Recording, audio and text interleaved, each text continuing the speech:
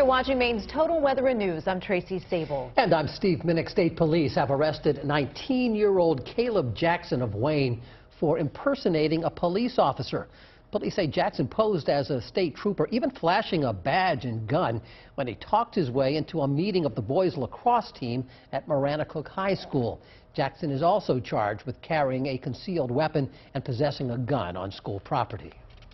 A 43-year-old Christopher Austin has pleaded guilty to separate counts of manslaughter and gross sexual assault. Austin was arrested after he shot and killed Gerard Parent while deer hunting in 2012. He also admitted to sexually abusing a young girl while he was waiting to be trial, tried, that is, on the manslaughter charge.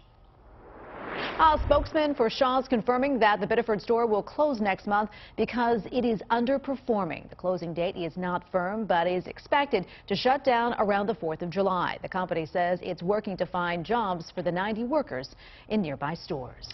And the driver of this dump truck swims to safety after the truck's brakes let go, sending it into Rockland Harbor. The driver says he was pulling up to the edge of the parking lot above to turn around when the brakes failed. And thank you for joining us on this News 8 update. And make sure you check back at WMTW.com on our mobile app for the top stories and weather anytime. Have a great evening.